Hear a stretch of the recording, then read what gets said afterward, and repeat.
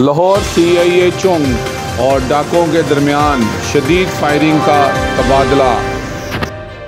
अजी बिल्कुल चंद रोज़ कबल आसफ उर्फ़ असू ने डिफेंस के इलाके करबा गाँव के करीब वारदात के दौरान दो डॉल्फिन एहलकारों को ज़ख्मी किया था, जिसे सी आई ए चुंग ने पुलिस मुकाबले के बाद हिरासत में ले रखा था।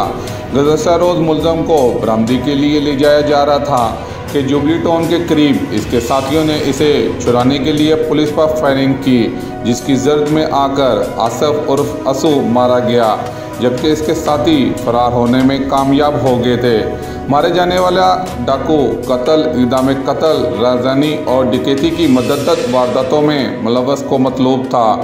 जराए के मुताबिक ताहल मारे जाने वाले डाकू का पोस्टमार्टम का अमल मकम्मल ना हो सका है, जबकि इसके फरार होने वाले साथियों की गिरफ्तारी के लिए छापे मारे जा रहे हैं। कैमरामैन मोहम्मद हसन के साथ मलिक मोहम्मद इमरान। अब तक टाइम न्यूज़